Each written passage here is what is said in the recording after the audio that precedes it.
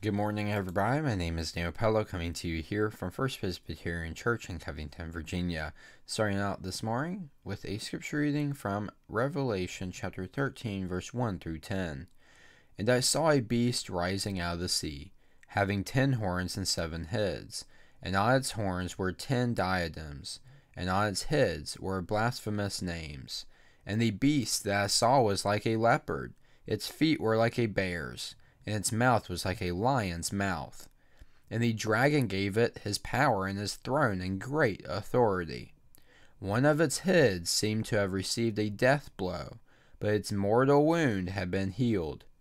In amazement, the whole earth followed the beast.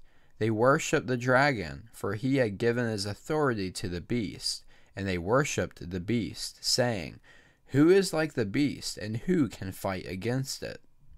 The beast was given a mouth uttering haughty and blasphemous words, and it was allowed to exercise authority for forty two months.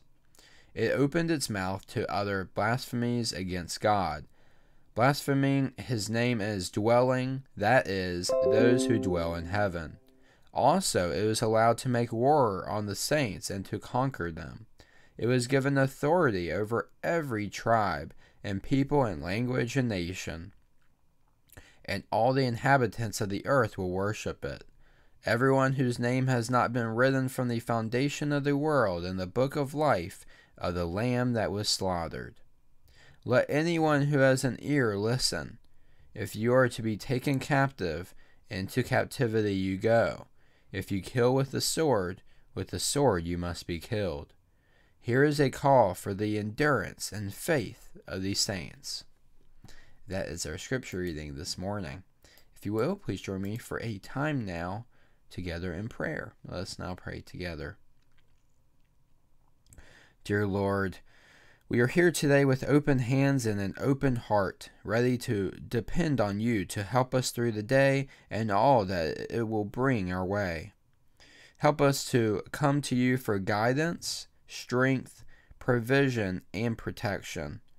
As we face tough choices and hard situations, help us to remember our belovedness. Help us remember that we are your child and your representative to the world around us. Help us live today in a way that brings honor to your holy name. In Jesus' name we pray. Amen. Thank you all for joining me here this morning. Hope to see you here tomorrow at 8 a.m. I hope you all have a great Wednesday today.